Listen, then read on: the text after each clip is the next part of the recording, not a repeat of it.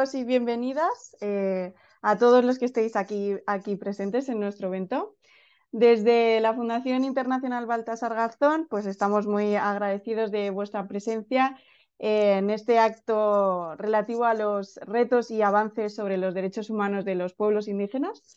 Y mm, bueno, en primer lugar, mm, me quiero presentar. Mi nombre es eh, Carmen Coleto y soy técnica de proyectos en la Fundación Internacional Baltasar Garzón y ahora soy responsable de los proyectos de eh, ambiente y también voy a ser un poco la que, la que modere el evento de hoy.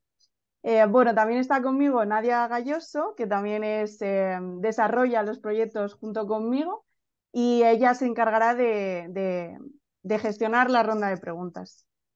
Bueno, yo soy Nadia Galloso, como ha dicho mi compañera Carmen, soy también responsable de proyectos, aunque me dedico un poco más a los proyectos de memoria y nada, estamos encantadas de que estéis aquí, de que podáis aprender algo de nuestros ponentes. Y nada, eh, como ha dicho Carmen, yo lideraré la ronda de preguntas. Os pido por favor que si podéis, eh, las podéis ir haciendo en el chat a lo largo de toda la ponencia, pero las contestaremos al final de, de la jornada, ¿vale? Así que cualquier cosa la podéis dejar escrita y acabaremos con la ronda de preguntas, ¿vale? Gracias. Bueno, em, explico un poco de qué se trata. Es el evento de cierre de nuestro proyecto Guardianes del Planeta, los derechos de los pueblos indígenas, a través del cual eh, hemos desarrollado un curso online gratuito sobre la situación de los derechos humanos de los pueblos indígenas en todo el mundo y em, eh, en este marco de este proyecto también se han realizado entrevistas a diferentes eh, líderes indígenas. Tenemos uno de ellos que ha participado aquí con nosotros Mm, y, bueno, todo esto estará bueno, está ya disponible en nuestra página web fibgar.es en la sección de cursos. Mm, y, bueno, hoy tenemos con nosotros como ponentes em, a Nayab Atilio Santiago, quien es líder de la nación One Piece, y también tenemos a Manuel Ramiro, que es eh, patrono de la fundación y representante de la, eh, de la de FIBGAR en Colombia. También es eh, fundador y director del, estudio, del Instituto de Estudios Interculturales de la Universidad Javeriana de, Cali. Y bueno, iba a estar también otro líder indígena con nosotros, era Alex Lucitante, pero por problemas de última hora no, no es posible que se conecte. Así que bueno, pues nada, esperemos que os guste y disfrutéis mucho eh, de, este evento. Bien, em, Nayab, si quieres, eh, él nos va a hablar un poco de los problemas ambientales de, su comunidad, así que te doy la palabra y cuando quieras puedes empezar. Hola. Eh, Carmen Coleto, eh, muy buenos días a todos eh, hermanos y hermanas que están ahí presentes. Bueno, las conozco en persona, pero a través de este conversatorio y por la hermana, agradezco a Maite, a la hermana Maite que está en, allí, eh, eh, la, la, conocí en Canadá, en el evento de COP15 en Montreal, en donde yo también participé en representación de la Nación One Bueno, mi nombre es Nayab Santiago Velázquez, eh, soy líder de la Nación One Piece, un pueblo que, que, se, que se ha autodemarcado su territorio bajo los principios de los derechos internacionales, como la Declaración de las Naciones Unidas y el Convenio 169, que el Estado peruano también ha ratificado. En ese ejercicio del derecho que ya están reconocidos a nivel internacional, eh, la nación One Piece eh, se autoproclamó como un gobierno territorial autónomo de la nación One Piece. Ese es el, el nombre eh, de, la, de, de la organización, digamos, pero no es una organización, es un sistema de autogobernanza que nosotros, eh, bajo los principios ancestrales que nuestros ancestros han gobernado desde miles de años y han sabido manejar de la mejor manera eh, nuestro territorio del bosque, que nos han legado hasta la actualidad, hasta un 85% de un territorio intacto de bosques y aguas en toda la diversidad biológica.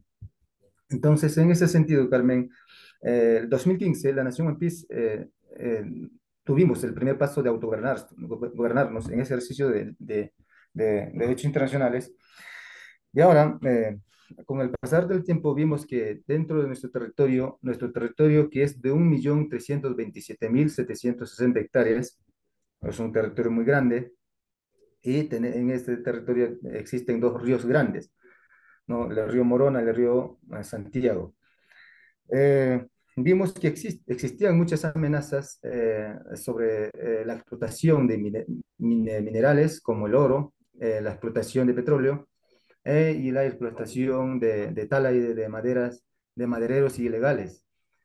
Entonces, en este caso, nosotros teníamos que enfrentar eh, informar al Estado peruano para que nos pueda ayudar a incidir o controlar este, estos problemas que amenazaban directamente a, nuestros derechos fundamentales, eh, eh nuestros derechos colectivos.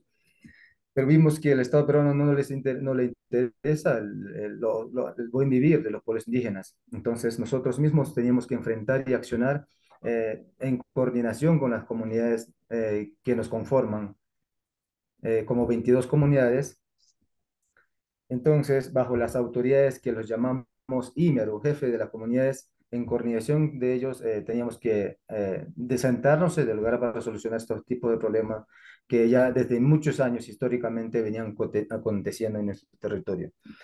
Pero estos problemas, tres problemas que yo he mencionado, son problemas que eh, a diario o al año presentan. O sea, no es no estamos encontrando la forma de cómo podemos solucionar.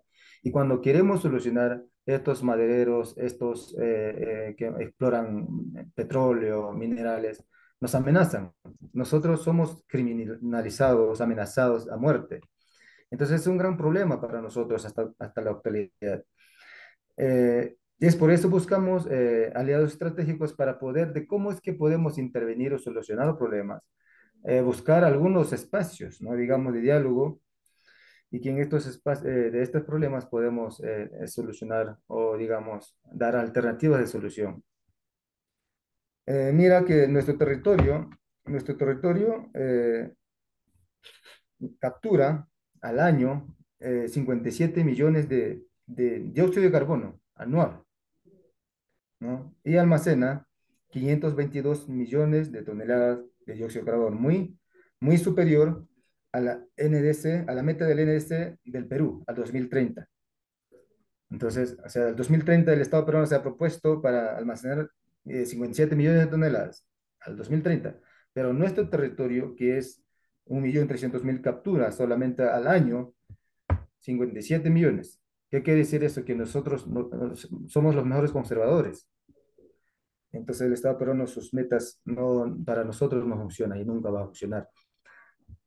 Es por eso eh, la Nación One estamos trabajando con muchos, eh, con muchos, digamos, con muchos espacios en el tema de seguridad territorial, eh, salud, comunicación, digamos, programas de proyecto para poder ayudar a nuestras comunidades. Porque si bien es cierto en la actualidad el tema de necesidades dentro de la comunidad, como la seguridad alimentaria, todo eso, eh, ha afectado, ha cambiado el sistema de modo de vivir como lo antes era. Entonces es muy preocupante, este, estimados colegas, compañeros y hermanas que están allí, el territorio, por decir, un, un claro ejemplo, el tema de petróleo, el año pasado, habido, ocurrió un derrame en el kilómetro 172, en la comunidad de Mayuriega. Eh, y ese derrame eh, se ocurrió con el, o sea, eh, por el vencimiento del oleoducto peruano. O sea, ya venció, este ducto que está ahí, está por donde pasa el petróleo, está, ya venció, ya venció. Ya van más de 40 años que está operando el, la empresa Petroperú en nuestro territorio. Entonces, esto se ha ocasionado y, y, esto ha afectado muchísimo a nuestras comunidades. Ha afectado a como más de cinco comunidades y a, a, los demás pueblos que están en las riberas del río, del río Morona. Entonces, esto, esto es una gran amenaza para nosotros. El, el petróleo, ya 40 años históricamente, es para nosotros como una pandemia y por ende eh, la salud de nuestras comunidades están siendo muy vulnerados. Eso es eh, lo que pasa en nuestro territorio. Si hay alguna duda, ya podemos, podemos ir expandiendo algunas. Mm. Sí. Muchas gracias, Nayab. Em, a mí me gustaría saber un poco, porque em, has comentado que, eh, bueno, eh, defendiendo todos estos derechos que, que, lleváis años luchando por ellos, os veis criminalizados. Cuéntanos un poco más de cómo es eso, cómo el Estado recibe toda esta defensa de vuestros derechos. Sí, este, al, respecto, por decir, muy claro, este, por ejemplo, en el tema de, el Estado, el Estado nosotros le invitamos para que a través de su, por así decirlo, la Policía Nacional, para que nos puedan ayudar en, en, en movilizarnos, en, digamos, eh, eh, controlar el pase de estas maderas, porque son los son los eh, autoridades que tienen que controlar la institución que es ARA, Autoridad Regional Ambiental. Estas instituciones son parte del Estado. Entonces los llamamos, los notificamos para que ellos puedan tomar la acción, para que puedan controlar. Pero como tú, tú escucharás, en nuestro país está lleno de corrupción, no existe ningún control, no hay ningún favor por parte de los pueblos indígenas. Es por eso que nosotros mismos lo hacemos. Por decir, eh, eh, cuando hubo el, 2000, el año pasado, eh, estaban llevando por toneladas la madera de tornillo, cedro, cauba, las maderas blancas, todas las especies, sin autorización de, de, de, de, ARA, que es Autoridad Ambiental eh, Forestal también. Entonces vimos que ya estaban saqueando nuestros recursos o bondades de la naturaleza. Cuando nosotros accionamos, detuvimos más de 10 botes que, que eran de 20 o 25 toneladas. Entonces, eh, cuando nosotros eh, intervenimos en este tipo de, de, evento, es que estos madereros están armados con, con arma de fuego y eso es muy peligroso para nosotros. Y eh, muchos de nosotros, los líderes indígenas de, mi pueblo, estamos buscados eh, en diferentes espacios y es muy peligroso en nuestro territorio. No podemos andar eh, sin cuidado en las ciudades, en los pueblos no lejanos. Entonces, el Estado peruano no hace nada por los pueblos indígenas, no implementa. En estas alturas, por decir, estamos en una crisis política dentro de nuestro país. Entonces, no hay, eh, no hay nada, no, nosotros nos, nos, sentimos respaldados eh, por, por, nuestro Estado. Decía un líder One Piece, eh, nosotros queremos a nuestro, a, nuestro Estado, nosotros queremos, queremos ser aliados, queremos trabajar de, juntos para que nuestro planeta pueda resistir, al menos para nuestras generaciones. Queremos trabajar de manera articulada. Y em, has dicho que en 2015 os, os autoproclamasteis como eh, nación. ¿Y cómo recogió eso el Estado? Porque el Estado no reconoce como tal. Sí, justamente. Sabe, usted, bien entenderá que los derechos internacionales como la Declaración de las Naciones Unidas sobre los Derechos de los Pueblos Indígenas y el derecho internacional que es el Convenio 169 hablan específicamente de los, de los pueblos indígenas, reconociendo eh, que ejerzan, eh, ejercer la autonomía y pueden perseguir eh, sus políticas, implementar sus instituciones dentro de su territorio. Eso dice las, los derechos internacionales. Y, y el Estado peruano ha ratificado el convenio 169 en su artículo 51 de, la, de nuestra Constitución, diciendo que todas las normas internacionales ratificados por Perú forman parte del derecho nacional. Entonces quiere decir que los, eh, estos se deben, son aplicables dentro de nuestra nación, Estado peruano. En cumplimiento de esos derechos, vimos que el Estado peruano no estaba implementando, cumpliendo sus obligaciones. Entonces, ¿qué teníamos que hacer nosotros? Somos nosotros que, que ya están reconocidos nuestros derechos. ¿Qué estábamos esperando? Eh, y es, es donde nuestros líderes empezamos a convocar a todas las comunidades en una comunidad de soledad. Eh, llegaron más de 200, de 300 participantes para discutir justamente lo que sucedía, de, cómo podemos autogobernar, defender nuestros intereses colectivos, todo lo demás. Entonces, también entendemos que nuestro sistema de gobernanza no es que eran reconocidos por el derecho internacional, sino que nuestro derecho de la autonomía era preexistente, era milenario. Entonces, entendimos, interpretamos esto, que es un derecho milenario nuestro, tenemos que ejercer. Entonces, imagínense, eh, Carmen, que nuestros abuelos, nuestros antepasados, sin leer ni escribir, supieron cuidar. Eh, eran respetuosos, actuaban de manera interrelacionada con nuestros espacios. Nuestra forma de ver al mundo es de otra forma. Nosotros tenemos nuestra, eh, nuestra cosmovisión y nuestro propio desarrollo. Entonces vimos que existía un sistema de autogobierno propio y un, derecho consuetudinario, milenario. Y estos que reconocen recién eh, los derechos internacionales. En el marco de estos eh, conocimientos, eh, el Estado peruano, cuando nos autoproclamamos, se presentó un expediente técnico a nivel regional, a nivel regional para que el Estado peruano pueda reconocer estos, esta demarcación indígena del territorio como un gobierno indígena dentro del Estado peruano.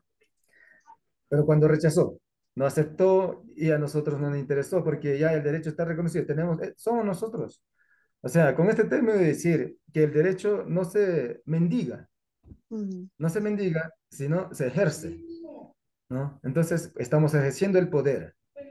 Entonces, ese es el clave que nosotros estamos. Ah, nosotros vamos a luchar hasta conseguir el reconocimiento eh, de, nuestro territorio integral. O sea, el derecho como pueblos indígenas en el derecho internacional está reconocido, pero dentro del Estado peruano no están reconocidos. O sea, no implementa, está ratificó, pero no implementa. Sí. Falta implementar. El, el, ¿Cómo se llama? Eh, las normas de nuestra constitución, de nuestro país, en el tema del territorio, eh, están en, sobre la titulación de las comunidades del territorio, es por comunidades, o sea, es por comunidades y no por el territorio que nosotros nos hemos autodemarcado. Entonces, eso es lo que nosotros estamos luchando. Queremos que el Estado peruano se nos reconozca el territorio ancestral y que se nos titule. Claro. Y, em, todos, y todas las extracciones petroleras, mineras y tal, ¿cómo termina afectándonos a vosotros, por ejemplo, en vuestro derecho a la salud, el derecho a la alimentación o el derecho al agua? Cuéntanos un poco más sobre eso. Sí, eh, justamente eh, lo que hace la empresa Petroperú es que llegan, cuando sucede este el derrames, llegan y eh, cavan el terreno, lo meten estos, todos esos residuos y, y, se quedan tapados como que se están curados. Pero imagínense en, nuestro, en nuestra zona, en nuestra selva, las lluvias persistentes, ¿no? Llueve constantemente. Y eso es lo bueno para nosotros. Y cuando llueve, estos petróleos que están allí debajo de la tierra eh, derriten, corren a los ríos. Entonces es constante la amenaza. Eh, nuestros ríos están siendo contaminados, los peces contaminados. Y eso es lo que, esa es la fuente principal de nuestra alimentación, a diario vivir. Entonces, nuestros, eh, en nuestra comunidad, especialmente por Morona, ya se, se, han diagnosticado, ¿cómo se llama? Plomo en su cuerpo. ¿Cómo se llama esto? Materia del, petróleo. Entonces, padecen de enfermedad del petróleo a consecuencia de este derrame. Entonces, gran preocupación. El Estado peruano no le interesa. Gran preocupación, realmente muy, muy triste, porque yo una vez viajé en Estados Unidos para justamente hacer esta campaña, de, eh, porque los, los financiamientos que captaba eh, la empresa Petroperú era de Nueva York, de Washington, de estos bancos más grandes. Entonces, mm, mi, mi, persona fue delegado para allá ir eh, dialogar con estos inversionistas de tal manera que estos no puedan seguir invirtiendo en esta empresa Petroperú. ¿no? Porque eso afecta directamente. Su inversión nos causa problemas, su inversión nos trae enfermedad, su inversión nos trae muchas consecuencias y eso va a ser muy triste para nuestras generaciones. Nosotros creemos mucho en tema de espiritualidad nos afecta demasiado. Es por eso eh, eh, buscamos espacios de cómo es que podemos mitigar este, estos derrames con tantas estas amenazas frente a nuestros intereses colectivos. ¿Y qué, qué, respuestas obtuvisteis? Ah, nada, todavía eh, nos dijo la, la, institución que nos ayudó para poder incidir eso, están en contacto con ellos, dice que todavía no responden, y finales de este mes o estos días quizás van a responder. Estamos en esperanza de eso. Sí. Bien, vale, vale. Y... Yo, quería, yo quería preguntarte, Nayab, em, ¿tenéis algún tipo de alianza con algún pueblo eh, originario que esté en la misma situación que vosotros en Perú o en cualquier otro, otro país por el que podáis crear un poco una unidad común para hacer presión al trato de estos gobiernos? Sí, este, claro que sí. Mira, nosotros, eh, nuestro territorio, eh, tenemos al lado a nuestro hermano Chapra, que también es amenazado y el oleoducto pasa por su territorio, también al hermano Achuar. O sea, en esta incidencia que hice yo en Nueva York, eh, me fui con nuestro hermano Achuar, yo, nosotros, él, y un hermano de, de, la costa que también fue, este, se derramó el, el, petróleo allá y éramos tres pueblos, ¿no? Y entonces, sí tenemos alianzas, por ejemplo, con Achuar, con Chapra, nosotros, sí, eh, estamos, eh, eh, digamos, buscamos esa alianza entre pueblos para poder hacer frente a esta situación. Sí, sí existe. Qué bien. Y cuéntanos un poco cómo llegaste a convertirte en un líder de, de, de la nación. ¿Y qué fue, qué fue, un poco ese proceso y qué es lo que te llevó, qué cosas te inspiraron para decir, yo quiero hacer esto? Bien, gracias. Eh, en, en, nuestro pueblo eh, la realidad es muy triste. Bueno, que nosotros tenemos nuestro, nuestros fuentes, nuestros alimentos, nuestro mercado, eh, todo, todo tenemos, los ríos, no todo no necesitamos como para comer, no necesitamos como para, digamos, estos, tantas cosas, ¿no? Pero en el tema del sistema de, cómo es que eh, con el pasar del tiempo, eh, mi, mis abuelos, mi papá, me contaban las historias de cómo era la vida ancestral, digamos, mucho más años atrás, de que en el tiempo de caucho, en el tiempo de, de explotación de estos pieles de animales, hubo mucha explotación y violación a nuestros abuelos, a nuestras abuelas. Y, como que estos me contaba, eh, cuando yo era niño, eh, cursaba primaria, pensaba muchas cosas. Y como que estos problemas que sucedió seguían persistiendo en nuestras comunidades. Entonces, como que veía esta situación, yo digo, esto nunca ha cambiado. Y cuando escuchaba estos tipos de amenazas que sufrieron nuestros abuelos, me dolía mucho en mi, en mi vida, en mi ser. Y dije yo, algún día cuando sea grande voy a ser líder y voy a defender a mi pueblo. Pero, y para defender, eh, yo hacía ese pensar, decía eso, pero cuando termino mi, secundaria, mi, mi nivel primaria, eh, el 2004, ¿sí? 2004, termino mi, primaria, voy al nivel de secundaria y, el profesor nos pregunta qué quieren ser algún día cuando sean grandes, ¿no? Y yo decía, quiero ser abogado, quiero ser abogado. Y porque, eh, porque cuando entiendo estos derechos, eh, voy a entender también el, nuestros derechos constitucionarios, ¿no? Todo lo demás. Y te, puedo ejercer el, el tema de liderazgo con claridad.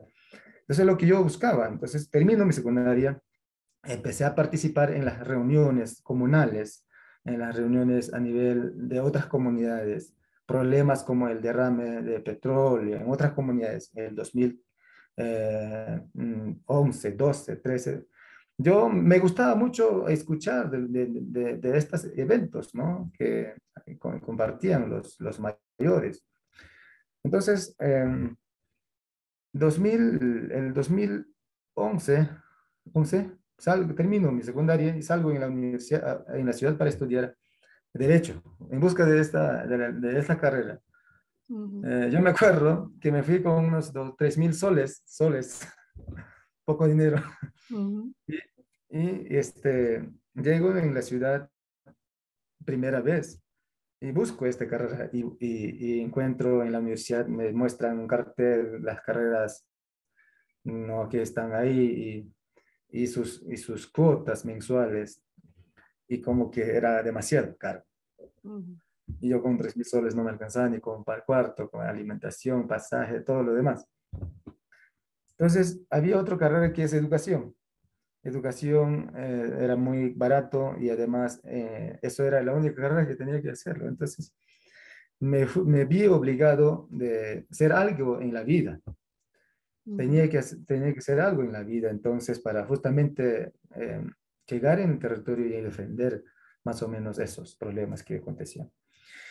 No estudié Derecho, estudié Educación, eh, pero no concluido eh, por estos problemas de, de, recursos económicos. Me quedé el octavo ciclo y llegué, cuando llegué, regresé en mi territorio, me dieron el trabajo como profesor. Mm. Eh, empiezo a trabajar en el 2015. 2015 empecé a trabajar. De esta forma seguía participando y en ese entonces mi papá era vicepresidente de una organización. Mi papá era líder. Eh, déjame decir que yo soy huérfano de papá, mi papá falleció el año pasado, 2021.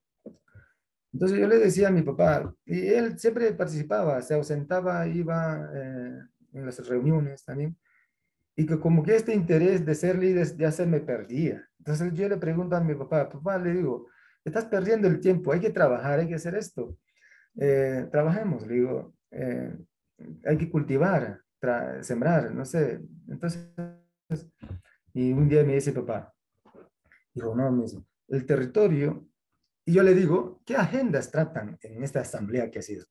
Y todas las veces que venía me decía eh, sobre el territorio. Otra vez territorio, otra vez territorio. O sea, el territorio es todo. Entonces, ¿pero qué quiere decir, papá? Le digo, y me dice, el territorio es algo que, que nosotros debemos defender, que nuestros ancestros defendieron, derramaron sangre. Y nos, nos dejó como un legado histórico este, este madre tierra. Y nosotros tenemos que perseguir ese, esa defensa territorial. Entonces me hizo entender un poco más. Pensé y dije, wow, eso significaba el territorio.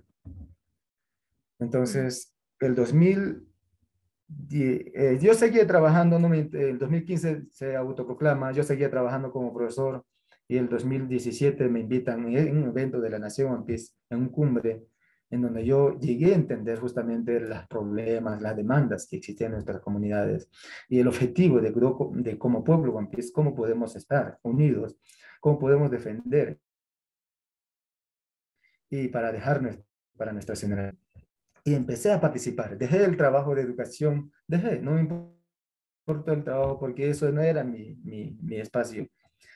Entonces me gustó esto y abrir una escuela de líderes eh, llamado Sharian, Escuela de Líderes Sharian, y yo formé parte de esa escuela, eh, dos años, ocho módulos terminé, y en esta escuela nuestros líderes nos comprometieron que los mejores destacados tenían que ser becados. Entonces, wow, dije, yo quería estudiar Derecho, entonces esta es mi, esta es mi oportunidad, voy a aprovechar. Eh, eran, el curso era sobre el derecho internacionales, el convenio 159, que más nuestras historias, eh, el territorio, todo eso. Entonces, eso terminé y justamente al terminar el curso llega la pandemia en 2020, 20, 20, ¿no? Sí. 20, entonces, y terminar, llega la pandemia y se cerró todas las fronteras, se cerraron y nada. Entonces yo vi que eso ha sido el problema de que a mí no me dieron la beca. Mm. Entonces, ha sido largos procesos de lucha por parte de mí, en mis pensamientos, mí personalmente, eh, me interesó mucho. Me interesó mucho ahora que soy parte de la escuela Sherian, me delegan eh, para participar. Yo mismo, aunque no me inviten, me voy cuando sucede algún problema en mi territorio, hago la presencia, eh, concientizar a los jóvenes, a las personas en las comunidades. Ese es mi trabajo, me gusta. Entonces, de esa forma voy escalando el tema del liderazgo en mi comunidad, y ya a nivel nacional e internacional. Y mm, bueno, vosotros tenéis esta escuela de líderes que entiendo que va gente joven. Em, ¿Cómo en vuestra comunidad, cómo, cómo los jóvenes se involucran, si se involucran o no? Em, si hay un sentimiento de, de, esta, de, defensa, de lucha por, por vuestros derechos. Sí, Carmen, eh, de verdad que eh, nosotros, muchos jóvenes, eh, nos hemos, la educación nos ha cambiado el chip, el, pensamiento como One Piece. la, educación es impuesta a nuestro sistema de educación ancestral. Entonces, no vemos el espacio como lo nuestro, no vemos, no nos, muchos jóvenes ya no se identifican como, como One Piece ya no quieren tomar masato, no quieren comer nuestras, las comidas de la zona. Entonces, ese es un problema también. ¿Y por qué, crees que ocurre, por qué crees que ocurre eso? Eso cuando, porque terminan secundaria, ya se van a la ciudad, viven mm. allí en busca de trabajo, en busca de estudio, entonces ya no regresan. Y cuando regresan, ya no, no, no, no. Entonces, ese es el problema. Entonces, el problema como que también esta defensa territorial hay eh, pocas participaciones. y esto que, ese es el problema. Queremos, yo, por ejemplo, por mi parte, mi preocupación es invitar muchos jóvenes para que puedan entender el sistema de gobernanza, el interés colectivo. Eh, hay poca participación. Por ejemplo, la primera promoción de la escuela Sharian eh, éramos 30 jóvenes en primer ingreso, 30 jóvenes. De los 30 jóvenes, solo terminamos 17 jóvenes, ah, alumnos. Y de los 17 jóvenes eh, de esta escuela, ninguno de estos compañeros no persiguen el tema de, liderazgo. Entonces, yo entiendo que ser líder es, eh, tiene que nacer de sí mismo. Entonces, yo en estos jóvenes, a estos compañeros les digo, por favor, hay que involucrarnos. La Nación One Piece, nuestro gobierno nos ha ayudado para que nosotros podamos ayudar. Hay que participar, hay que luchar por nuestro interés. Como que les ayudo, pero no, no, no, no les nace. Entonces, ese es otro problema. Pero que para que se involucren en este problema de, la lucha de, de, territorial, poca participación. Ese es muy problema. Por eso queremos seguir implementando esta escuela y esta escuela Shayan al que nosotros hemos eh, llamado es una escuela que se realiza por talleres, o sea, por cursos. Y no es una escuela hecha en casa. ¿No? Entonces, esto es un espacio libre, se realiza por comunidades, ¿no? Entonces, eso es así. Entonces, esto queremos implementar, como que se nos hace falta tantas cosas. Entonces, ese es, eh, poca participación de la juventud entre mujeres y hombres. Las mujeres, en este caso, eh, en nuestras comunidades eh, no participan, digamos, no, no hay, hay poca participación, unos 15%, eh, digamos, ahí existe la participación de las mujeres y la mayoría es varones. Entonces, últimamente, el, a ver, creo que estos tiempos, el 25, no sé, yo no me acuerdo la fecha, pero están haciendo el Congreso de Mujeres, justamente para involucrar mujeres. Porque la Nación One Piece que tiene, tiene, que ser así, trabajar de manera conjunta, todos juntos, entre jóvenes, mayores, personas, todos. Entonces, eso es lo que nosotros buscamos. La Nación One Piece es un sistema de gobernanza eh, que, que, que, quiere juntar a todos los eh, involucrados de nuestra comunidad, de nuestro territorio. No sé si ha respondido la respuesta. Sí, sí, sí, claro, perfectamente. Tengo yo em, una pregunta relacionada ahora con lo que acabas de decir del tema de que la, participación de las mujeres es menor. ¿Se ¿Crees que se debe a el rol que tiene la mujer en la sociedad o a la falta de interés por parte de las mujeres en participar? ¿O una mezcla de los dos? Yo creo que, yo creo que bueno, nosotros no somos machistas, los guapis no somos machistas, no somos eso de cualquier cosa, ¿no? Eh, nos gusta que las mujeres participen, eh, porque en, históricamente la mujer era fundamental, era muy fundamental. Ellos en la guerra, ellos tenían que adelantar, ellos adelantaban y cuando veían algún espacio por ahí, algo sospechoso, ellos avisaban. O sea, la mujer en nuestra cultura es muy importante. Entonces, en estos tiempos también es muy importante. Por eso queremos invitar. Creo que el problema de las mujeres es que eh, a veces puede ser el rol que cumplen en la casa, puede ser eso, o si no, eh, eso, ¿no? La responsabilidad que tienen por sus hijos, tal vez eso puede ser, pero invitamos esta vez, este congreso creo que llamó a todas las mujeres específicamente para que ellos puedan expresarse cuál es el problema que ellos tienen en su casa. O sea, nosotros recién estamos eh, siete años como gobierno Vampis, estamos investigando muchas cosas, qué es lo que tenemos que mejorar. O sea, estamos en ese proceso de la reconstrucción, reivindicación de nuestros derechos colectivos. Entonces estamos como que te puedo, ahorita no te puedo decir cuál es el problema, porque yo no he participado en ese congreso.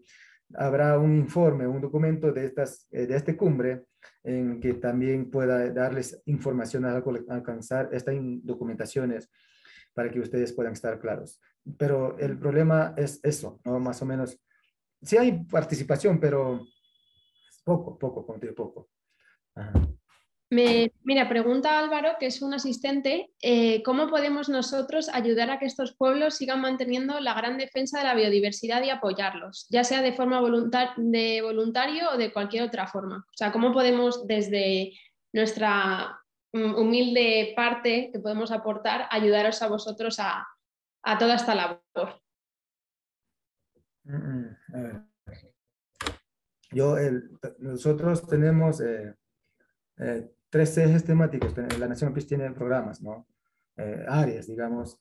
Eh, en este caso,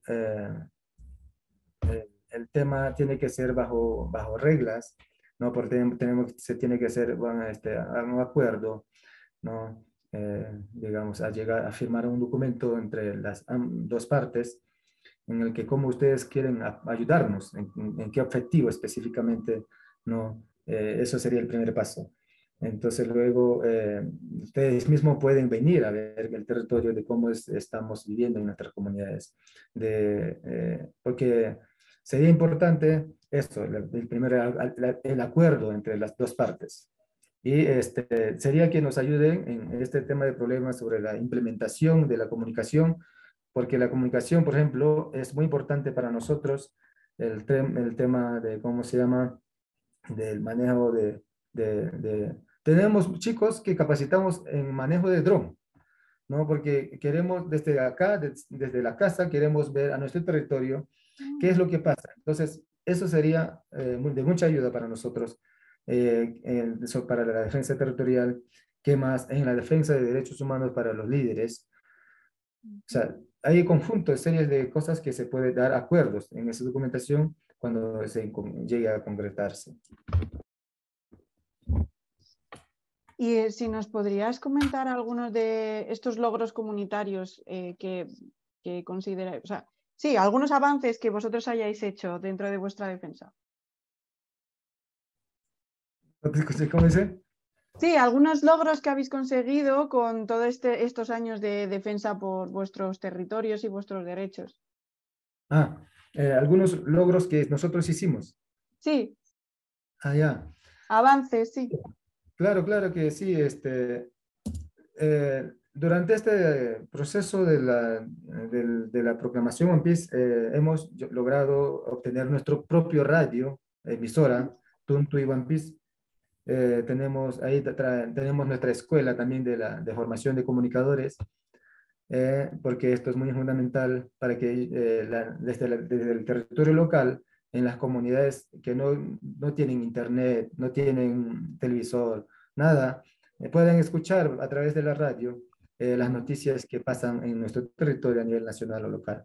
Entonces, eso hemos logrado, eh, ya tenemos los chicos.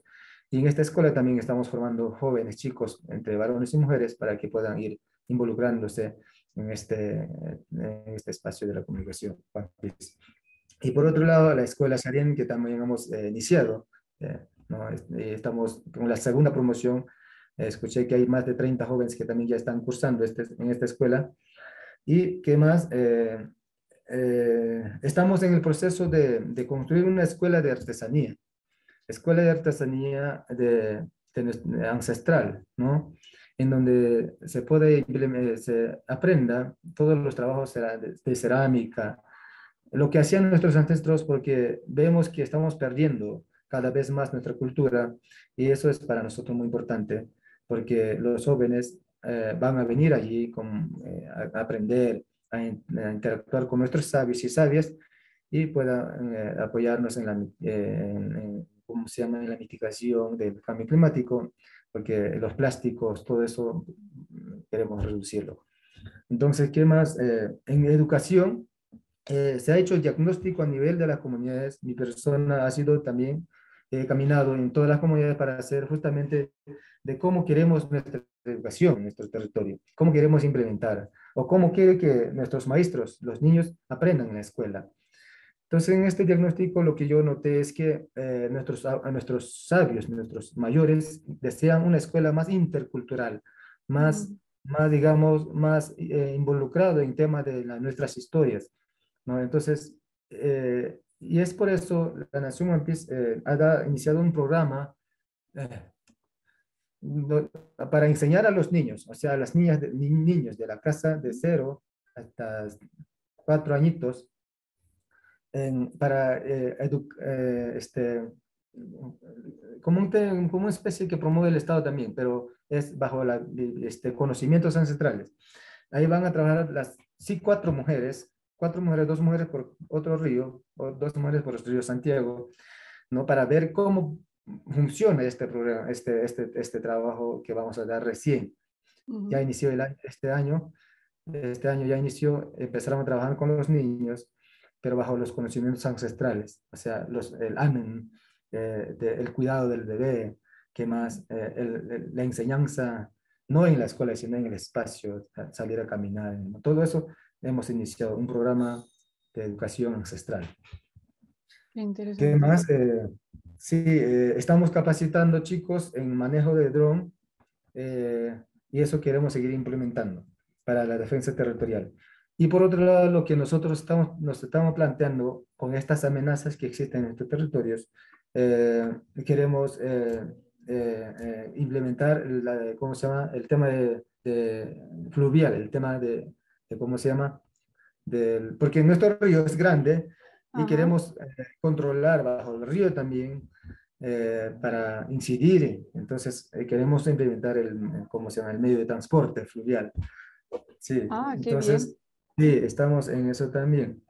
O sea, son muchas cosas que estamos trabajando eh, sobre el derecho, queremos formar jóvenes también en tema de derecho, entendido en derecho, porque no tenemos profesional entendido en derechos específicamente de los pueblos indígenas. Entonces queremos, eh, buscamos espacio de beca, pero eh, no nos responden algunos eh, aliados que tenemos. Entonces, eso quisiéramos lograr. Qué bien. Muy bien. Imagino que todo, todo esto tendrá un coste, un coste económico, ¿no? Entonces, ¿cómo, ¿cómo conseguís esa financiación para poner en marcha todas estas iniciativas? ¿O os las autosubvencionáis o hay alguien que, os puede ayudar o cómo, cómo funciona un poco eso? Ah, para hacer esto, todos estos este, trabajos que he mencionado, eh, tenemos aliados que nos ayudan. Por decir, eh, aliados, eh, Amazon Watch, Niatero, ¿qué más? FPP, ¿qué más? Hay, hay aliados que nos ayudan en estos trabajos, ¿no? Eh, sí, sí, tenemos aliados, pero que todavía, imagínense, nuestro territorio tan grande, eh, no cabe ¿no? De, todo. Entonces, queremos, queremos contar con más aliados de tal manera que sea efectivo nuestro trabajo y sigamos trabajando de manera equitativa, efectiva con, con estos. Muy bien. No sé si tenéis alguna pregunta. sí, lo que yo también Sí, justamente eh, FIGAR, FIGAR es una fundación. Eh, bueno, agradecerle a Maite, ¿no? Por, porque intermedio de ella, eh, nuestra comunicación, el contacto ha sido, y me comentó de, del trabajo que ustedes están haciendo, y si realmente ustedes están trabajando con los pueblos indígenas, eso sería mi, mi pregunta, ¿y qué experiencia tienen ustedes? ¿Cuántos años tienen experiencia trabajando con los pueblos indígenas? Eh, eh, ¿En qué sentido ustedes ayudan con estos pueblos que ustedes trabajan? Eh, y si hay algún interés con lo que yo intervine, hay algún interés eh, de ayudarnos a nosotros, de, y si es eso, podemos programar otro evento con otros líderes más. Yo puedo, en este, este conversatorio, quisiera que me los pasen el audio, el informe, para poder presentar en, el, en, en la asamblea de, de mis líderes porque para mí eso es muy importante, presentar a ellos eh, y decirles que hay este espacio como para que podamos conversar y ellos con mayor calidad, porque son mayores ellos y, puedan escucharlos a ellos también. Pues em, claro, obviamente te enviaremos todo esto grabado. Y mm, bueno, yo en la fundación llegué en 2021, creo recordar, pero mm, Sé que ellos han tenido, mm, bueno, la fundación ha tenido mucho contacto con el pueblo mapuche en Chile. Y bueno, les han ayudado y les han acompañado a pues, procesos judiciales que han querido presentar, un poco en, su defensa también del territorio. Sé que en eso la Fundación ha estado muy encima. Y, mm, luego con pueblos indígenas tenemos diferentes contactos, por ejemplo, pues Maite, que es la directora de Stop Ecocide aquí en España, em, nos ayuda a mantener ese contacto con, vosotros y gracias a eso pues eh, pudimos desarrollar este proyecto y tener eh, las entrevistas con, todos vosotros mm, y, hacer este curso, curso online. Em, por supuesto que estamos abiertos a eh, cualquier convenio con vosotros y, a intentar eh, acompañaros también en vuestra, en vuestra defensa, desde luego. Claro.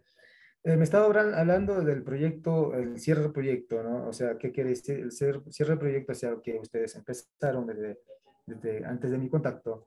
Entonces, el cierre, eh, quiero eh, del proyecto de este, de sobre defensa de los derechos de los indígenas, quisiera que me explique, explique cómo está eh, hecho, con, no sé, este cierre del proyecto, que me comente. Sí, o sea, el proyecto lo que es, es un proyecto que está cofinanciado por el Ministerio de Asuntos Exteriores aquí en España. Y entonces hemos desarrollado un curso online gratuito en nuestra página web hablando sobre la situación, cómo viven actualmente eh, comunidades y naciones indígenas, eh, la situación, cómo es el derecho internacional de los, de los pueblos relativo a los pueblos indígenas, cómo está el derecho regionalmente desarrollado en cada región en relativo también a los derechos indígenas y todo eso y todo eso está subido en nuestra página web y tenemos las entrevistas que tú has participado en una eh, también subidas y, bueno, cualquier persona puede acceder a ello. Okay. Y por eso ahora se cierra porque ya hemos terminado eh, todo, todo el curso y, la, y bueno, el contacto que teníamos con los indígenas, por eso es este evento de cierre de este proyecto. Ok, gracias, perfecto. Ya no tengo, este, ¿qué más? Este, no tengo preguntas, más bien gusto de conocerlos. Si alguien de los ponentes tiene alguna pregunta y la quiere hacer, eh, estamos abiertos a, recibirlas. Sí, de los asistentes que están aquí mm, podéis preguntar lo que, lo que queráis. Si no hay preguntas, pues eh, ha tenido un problema Manuel Ramiro, que es nuestro, nuestro patrono, con internet y por mm, eh, dificultades no va a poder conectarse. Pero bueno, si tenéis alguna duda, pues hacérnoslo saber y, la, responderemos con mucho gusto. Yo tengo una, última pregunta para Nayab. Me he quedado un poco con la duda de eh, de qué manera, o sea, está claro que las Naciones Unidas proclamaron la Declaración de los Derechos Indígenas, ¿no? Pero ¿hay protección efectiva hacia esos derechos por parte de, de las Naciones Unidas? ¿O cómo se ve en la comunidad un poco que aunque esa declaración exista, realmente es algo material que en el día a día os ayuda a, reclamar vuestro territorio, a reclamar vuestra identidad, vuestra autonomía? Mm. Bueno, a ver. Creo que, bueno, el derecho eh, internacional reconocido, como dices tú, eh, no creo que sean eh, los estados, digamos, los gobiernos del mundo. Imagínense que son discursos que hacen en diferentes espacios. Por ejemplo, el problema es que no se materializa este, estos derechos que están reconocidos y no se aterriza en los territorios que están siendo afectados por diferentes actividades ambiciosas y por ende yo diría que el derecho reconocido internacionalmente por la ONU tiene que eh, tiene que obligar a los estados que, que forman parte de este y que, que nos ayuden eso, ¿no? que, que, la, que, las Naciones Unidas incida a los, a los, estados para que puedan cumplir con sus obligaciones. Eh, por ejemplo, eh, en este foro permanente de las Naciones Unidas sobre cuestiones indígenas que he participado, ha sido directamente para los pueblos indígenas. Entonces, es, es, un gran espacio para nosotros en donde todos los representantes de los líderes indígenas y de los estados están eh, pensando defender el sistema planetario, la vida del sistema planetario, porque ese es el camino.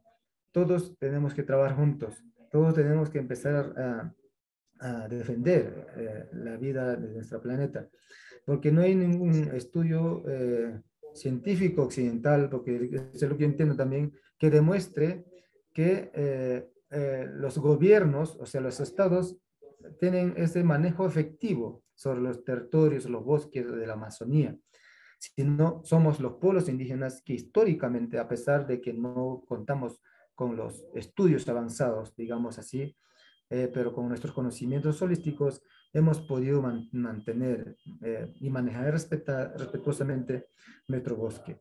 Y eso es lo que nosotros eh, ofrecemos al mundo y para pues, seguir preservando tenemos que trabajar de manera equitativa, efectiva en el tema del, del ¿cómo se llama?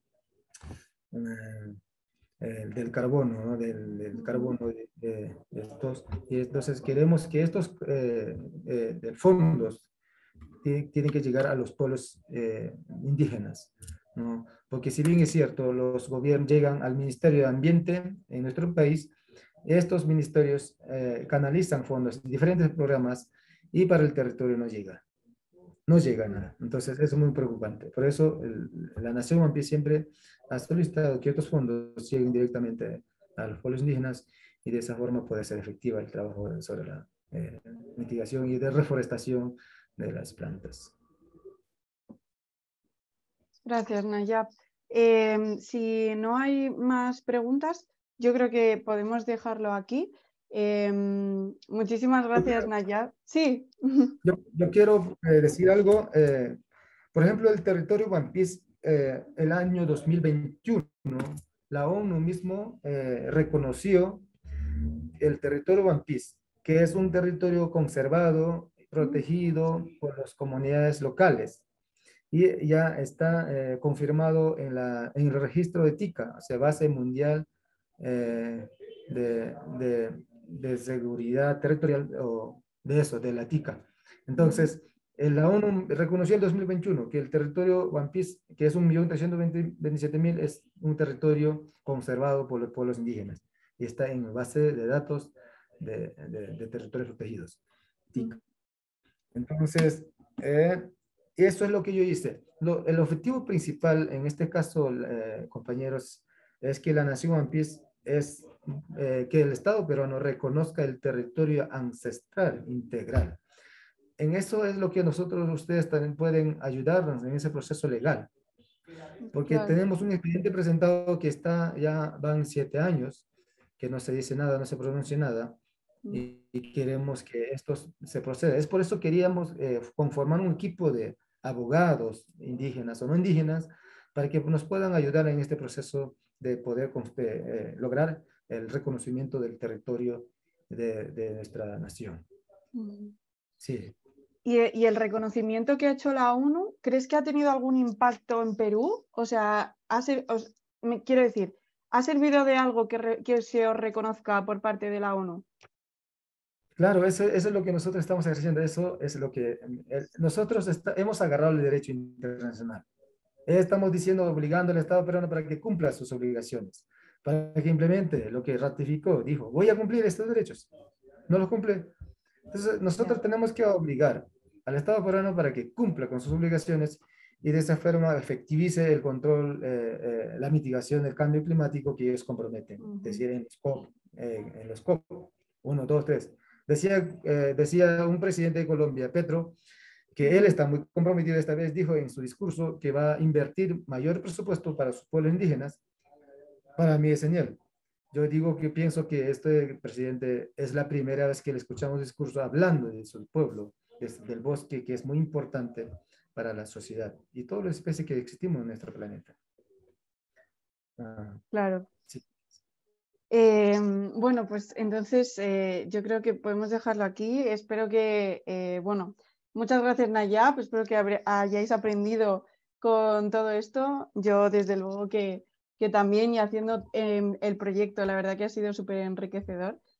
Em, así, así que nada, muchísimas gracias Nadia por estar aquí. Gracias a todos los que habéis estado presentes. Gracias Nadia.